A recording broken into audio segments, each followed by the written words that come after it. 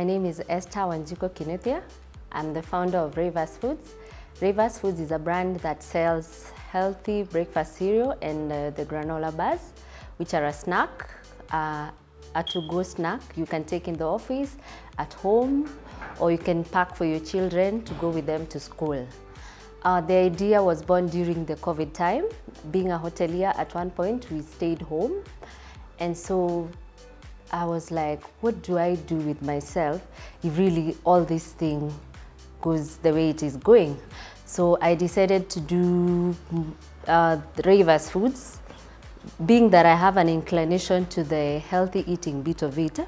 And I love, um, I have seen the mueslis in the market and I felt there's a chance and an opportunity to give a more balanced uh, product. So that is how I jumped into the idea. So slowly we started developing the whole idea and uh, the other baby, the snack was born along the way. Uh, Ryaivas Foods, uh, we source our ingredients locally so that we're able to support other small farmers and businesses that we do business with.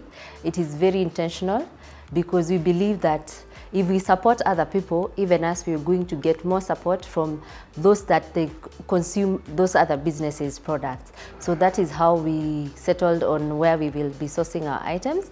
Our prices are affordable. We have looked into the market, we've tried our best to get the best ingredients and pass them to our clients as a value added product uh, at the best possible price that we have in the market.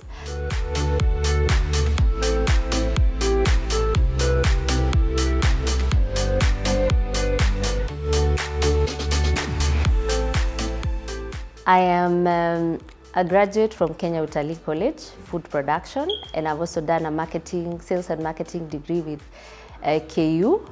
So I really job searched in 2019 after I finished my schooling in 2018 because I felt I needed a different field. I needed to do something different. So I, I was like, I sat one time, now that COVID came, nobody was employing and people actually, most of the parastatal guys, of course, there was no employing completely, and that is why I was eyeing. So one time I woke up in the morning and I was like, wait, I think I'm a powerhouse on my own. The fact that I have got the food background, I work in a spa, and I've worked in the kitchen, and I have the sales degree. So I decided, ha, I think I'm sitting on something I should be uh, making it work. So having the food background and being in the gym and spa gives me that aspect of understanding the health in wholesome in terms of what you eat, how you exercise, the things you need to do in terms of supporting that health. I, I have the whole idea of now, it all adds up. Mm -hmm. It all adds up. So that's how I came up with the, I was like, this muesli uh, will be a good breakfast cereal for somebody who wants to cut weight or maintain weight because it keeps you full for long. It has a lot of fiber, antioxidants, and minerals and vitamins that you will need to keep you going throughout the day. So the beauty of muesli, it doesn't have to be taken with uh, like yogurt and milk or your uh, milk alternative only. You can just snack it in the office, just the way it, it is crunchy and good to go. Another thing we looked into is the um, uh, the healthy aspect bit of it in terms of we are not adding sugar to the product. It is refined sugar free. We use honey. We don't use artificial flavors or preservatives in it. We have ensured that even for the orange bar, we use the zest to keep off the artificial flavors and additives.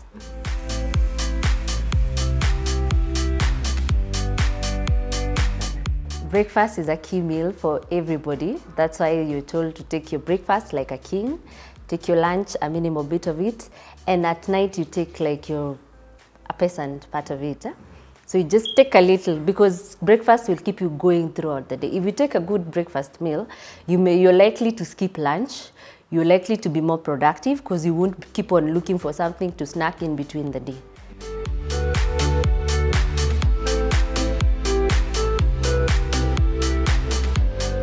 I have not been uh, exposed beyond being a hotelier, that's one. Second of it all, sourcing of ingredients was a problem. I have always known the routine of going to work, coming back. So I haven't really interacted with this other world of knowing where do you source your raw materials in bulk, in wholesale. So that was a whole new field.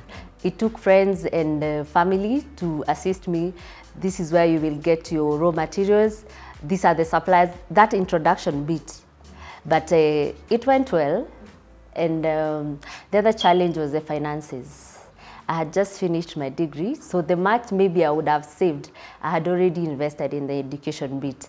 So I didn't have anything I had saved in terms of uh, this money, and even the idea was not there. I didn't have anything to do with business, so I knew my routine, I was comfortable.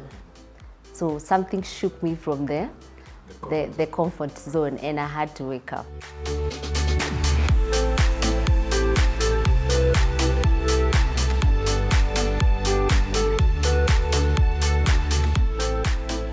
I did my market research, that's one.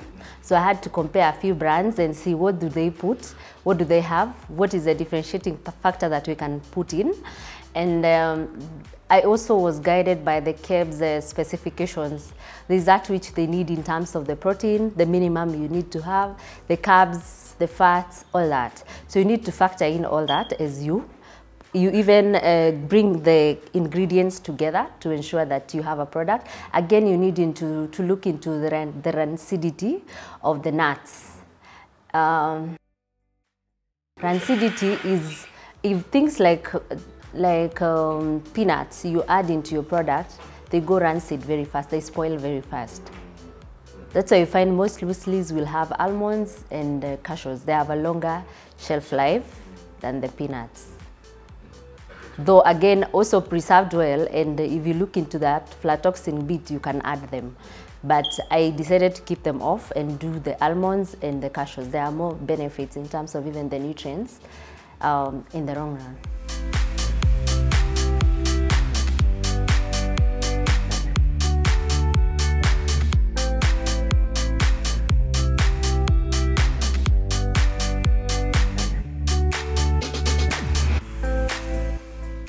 I remember I was in the Karen Organic Market. It was a client who referred me to the incubation kitchen I'm in today. So she loved my muesli and she asked me, Esther, where do you do your muesli? I was very honest and I told her, I do it from my kitchen. I have tried to sum up those startup costs. They're not adding up. They're not. I'm looking at them and I'm like, when will I ever break even? And uh, she was like, but I can help you. There's a group of women who came up together. They came up with a kitchen. They had a similar problems. They had the idea it was viable, but they couldn't sell beyond the markets because they couldn't get the certification from their kitchens. So she sent me to a lady by the name Amina, and she asked me, please go see this lady. Um, sit down with her, let her see whether your idea can sell, then you will get, she will get to assist you from there. So I organized myself and uh, called Amina and we scheduled for an appointment. I went in, I had seven mueslis. So I had not seen that aspect of who will give you that shelf space for you to sell all that. But again, when I was doing my research, I, I got to realize you can't just go in with one flavor. The market demands that people have got different tastes and preferences. So you've got to factor in that, which I did. And uh, my babies narrowed to four instead of now seven. I had to get off three of them.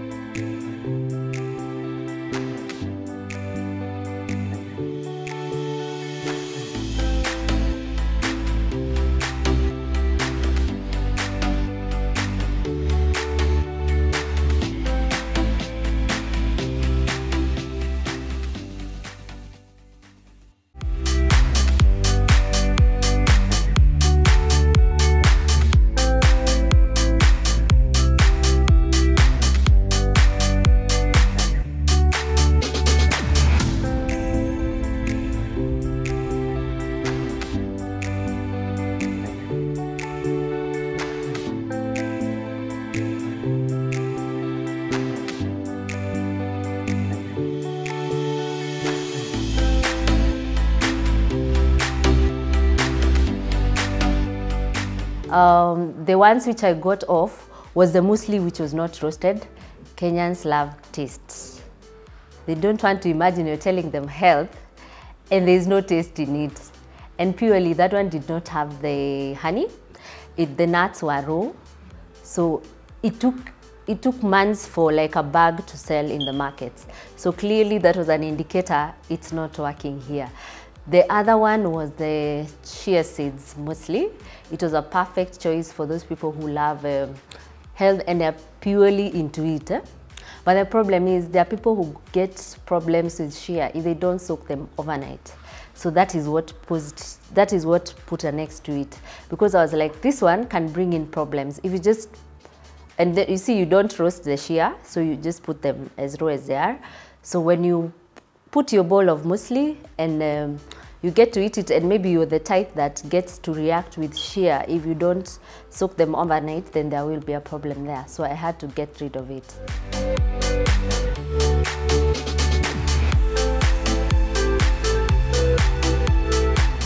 Um, those four flavors take uh, into account four different profiles of a client. I have clients who love cranberries. They know the beauty of cranberry. It's full of antioxidants, very good for your hormonal balancing, great for your start for the day, and the berry bit of it, the sweet and sour bit, makes them go wow about it. So we have the chocolate bit, great for the sweet tooth and the children. Children love something they feel. They love chocolate. So they want something that they will take and they will feel, wow, this one, this is you. So I needed to factor in that bit of the children and the sweet tooth bit. So we have the mango and apple, uh, which is a Swiss. That is the original recipe from the the guy who developed muesli first was from Switzerland. His name was uh, Maximilian. So he was developing the recipe for his patients um, and he used uh, the oats, apples, um, a bit of um, raisins and some other fruits to just see whether this thing is working. And apparently it, start, it was working so well for his patients and uh, eventually now mostly became popular in Swiss and other parts of the countries and the world started um, adopting it and replicating it and improving it. So that's how we get it to date here. So the, the recipe is originally from Swiss. That's why we honored them and gave them that um, the name Swiss because mainly whatever that is inside there is what the owner of the recipe had decided it to be. It's a healthy option for somebody who loves mangoes and apples. A great combination. We use the dried uh, natural mangoes, no additives in them. Uh, nothing we've added in terms of, we use actually lemon for the apples to just ensure that they don't get oxidized. Then we have the last bit, the tropical. I have clients who, who love trop the tropical bit, the banana and the coconut. So that's a, uh, an option for them. And it also does very well in the market.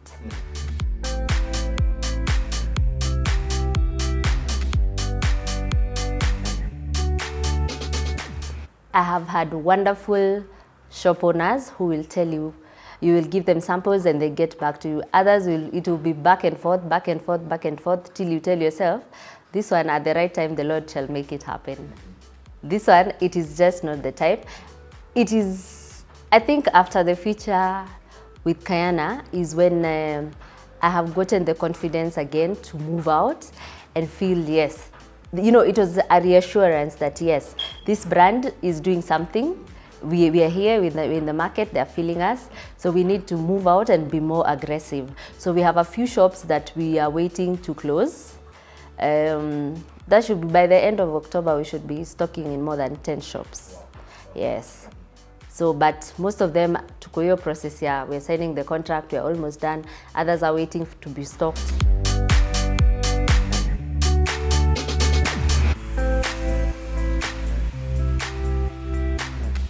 Um, I'm expecting that uh, people will get to buy.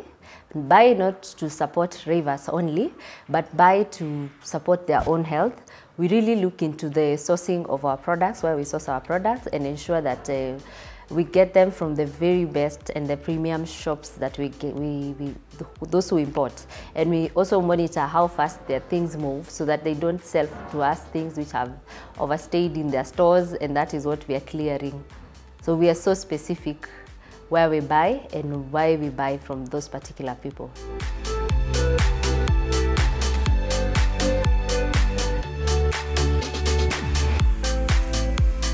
Uh, the fact that um, they give you a platform to interact with other women, learn. We have a books, um, like a books interaction group. So you get to learn from other, other entrepreneurs. We meet, we have meetings that uh, we get to meet here. We interact, we get to share. You realize that some of these problems you're into, you're not the only one who is into them. They do trainings, like we had a financial training some time back. So you're able to know how to manage your finances. You're able to know where do you get your financial assistance if you need, and um, what are the terms, what are the do's and don'ts with money.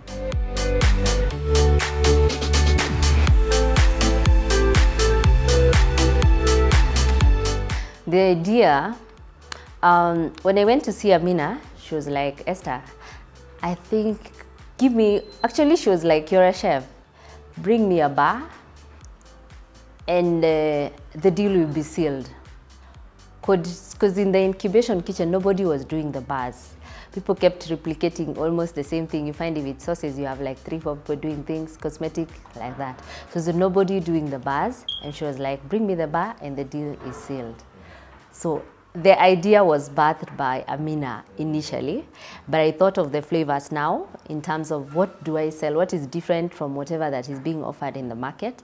And I can tell you for sure it worked. The fact that there is even that bit of recycling makes me more excited because now that one connects us to the environment. What are you recycling? The orange, the orange um, zest, Uh-huh. yes. So I sourced them from um, uh, like now when the, the, the, there's a hotel I, have liaised with, eh?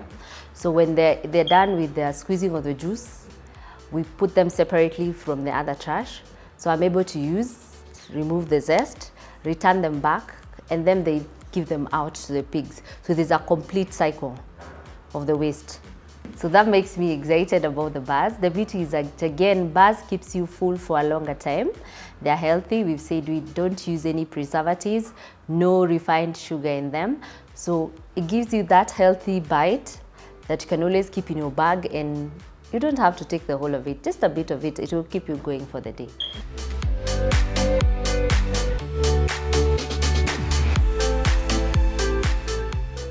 Five years from now, I see Ryaivas uh, having moved not only from Nairobi, but we will have been able to supply the, uh, the cereal throughout the country and also we will look into options of moving it to East Africa. It's a great product and I believe we should sell and we sell health across the East of East Africa.